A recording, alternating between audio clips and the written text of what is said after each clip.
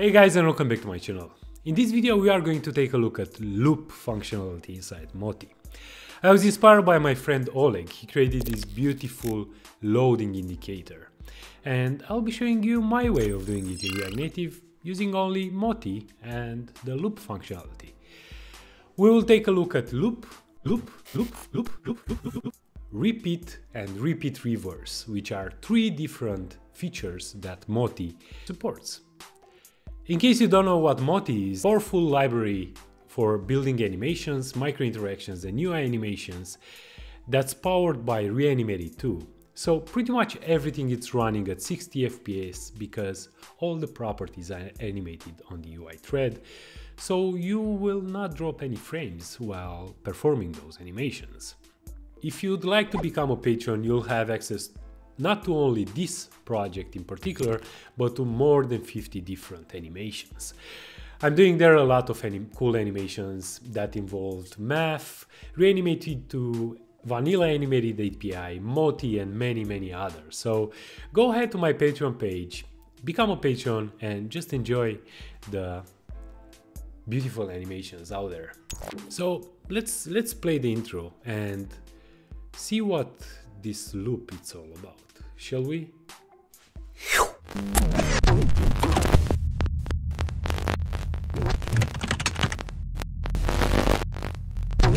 Alrighty guys, so we are in VS Code here. I've prepared the project using Expo. If you're not using Expo, don't worry about it. Everything that I'm going to show you here can be applied to a Create React Native app. Uh, you only need to have Moti installed.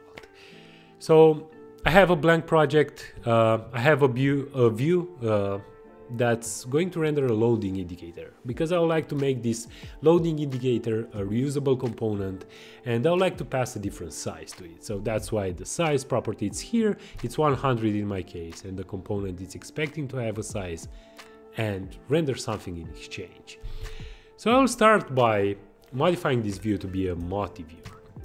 So I'll import Moti view from uh, Moti and Let's start with the UI itself. So I'll have a couple of styles here. It's going to be width size, height size, and border radius is going to be size divided by 2. I'll also like to apply a border width of size divided by 10 and a border color of white. So pretty much this is going to create a circle, right? That's it. It's, it's a plain circle. And I'll also like to apply a glowing effect to it and to apply a glowing effect you, you can specify a shadow. So let's start with a shadow color of again white, uh, shadow offset with 0 height 0 and shadow opacity of 1 and the shadow radius of 10. So this one is going to create a glow effect. And in the beginning of the video I was mentioning that we'll take a look at loop, repeat and repeat reverse. Uh, so basically repeat uh, it means it means how many times you like to repeat the animation. Uh, it can be it's a number, right? So three times means that it's going to animate three times. If you specify repeat infinity, it's basically equal to loop true. So it's going to loop infinitely over and over, uh, over and over again, over and over, over and over again. I was just looping. Uh, so loop true it's equal to repeat infinity. Then there is the third element of this equation, which is repeat reverse. So basically repeat reverse, which is default to true, set to true, means that you have an initial value and a final value, and you like to animate between them. So initially, if you'd like to loop, let's assume, uh, you'll have uh, opacity 0 uh, initially, and then you'll have opacity 1, the final value, right? So it's going to go from opacity 0 to opacity 1, and from opacity 1 to opacity 0. This is basically a complete loop. And if you'd like to skip going from opacity 1 to opacity 0, you can specify repeat reverse false. So it's going to go from opacity 0 to opacity 1 and then snap back to the initial value without any animation in between. So let's let's start with with this animation and then we can play around with those different properties.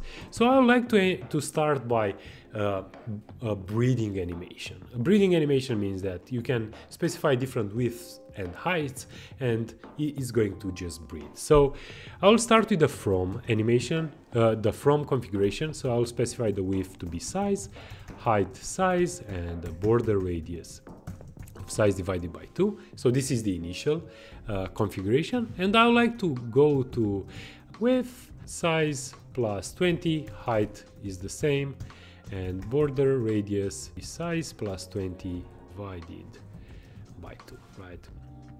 So this one is going to animate just once.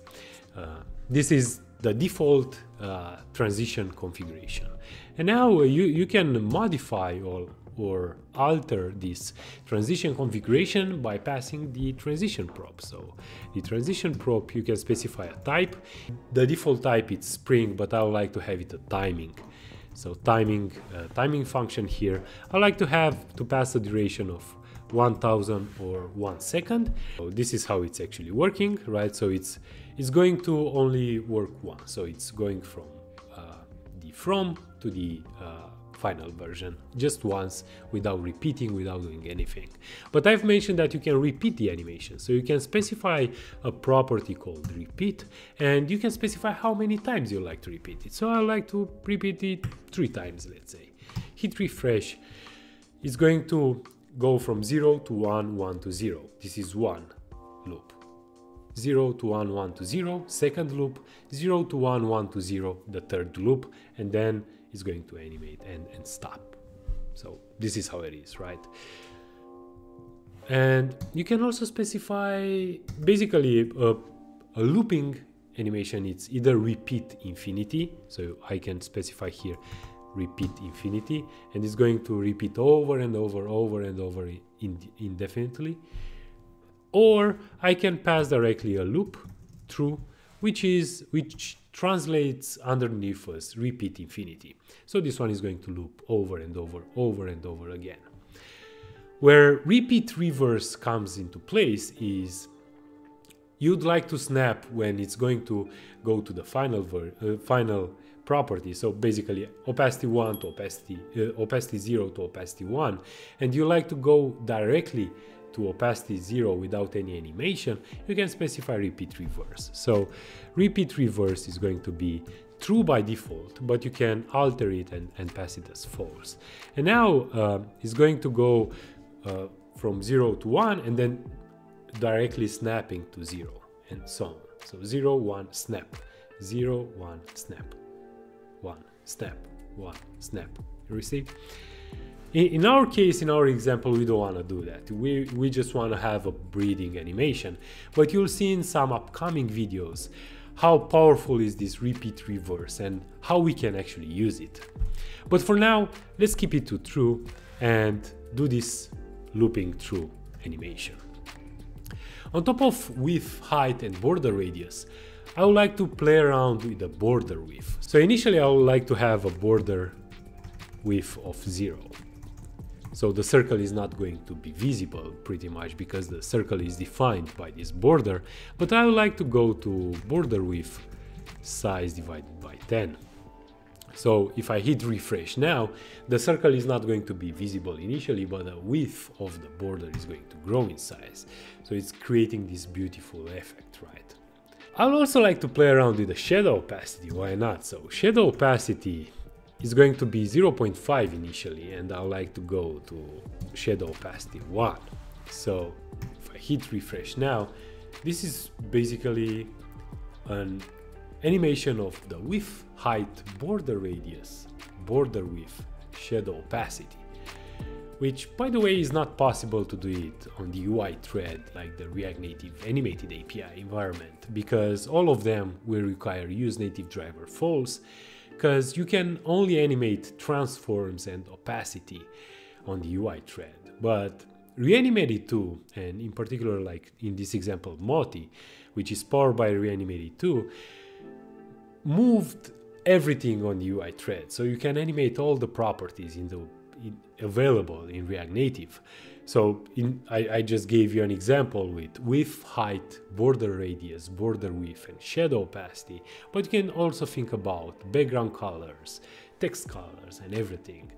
and all the way is going to work with on 60 fps which is pretty pretty powerful yeah guys that that was it I, it was a short tutorial i hope that you've learned something new about moti and how you can actually loop loop loop loop loop loop loop, loop.